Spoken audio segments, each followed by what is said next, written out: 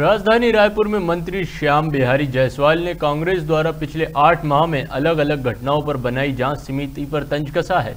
उन्होंने कहा कि सभी घटनाओं में कांग्रेस नेताओं का नाम शामिल है। कांग्रेस ने काम ऐसा किया है कि सभी घटना में उनके लोगों का नाम है। ऐसे में कांग्रेस क्या ही जाँच करेगी? पीसीसी चीफ द्वारा सदस्यता अभियान को लेकर दिए गए बयान पर मंत्री श्याम बिहारी जायसवाल ने पलटवार किया है। उन्होंने कहा कि दीपक बैज कांग्रेस के अध्यक्ष हैं। उन्हें ऐसा नहीं करना चाहिए। अगर कोई अपराधी है तो दीपक बैज उसका नाम बताएँ। इसी कड़ी में प्रदेश में बढ़ते स्वाइन फ्लू के मामले को लेकर स्वास्थ्य मंत्री श्याम बिहारी जायसवाल ने कहा, वैसे स्वाइन फ्लू का विशेष लक्षण नहीं होता है। इसलिए हमने आम जनता, मितानिन और हेल्थ टीम से अपील की है कि ज़्यादा से ज़्यादा इसकी जाँच कराएँ।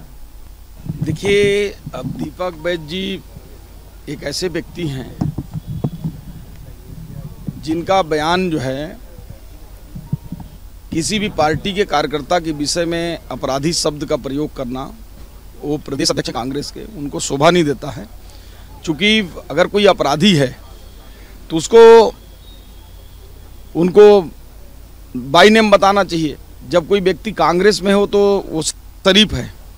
कांग्रेस से बाहर आ गया तो अपराधी है। देखिए, स्वाइन फ्लू के जो केस दिख रहे हैं, अभी तक पिछली सरकारों में ये जाँच ही नहीं करते थे।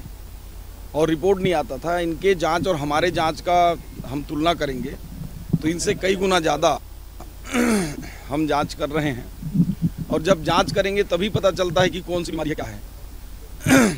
वैसे स्वाइन फ्लू का कोई विशेष लक्षण अलग से होता नहीं है।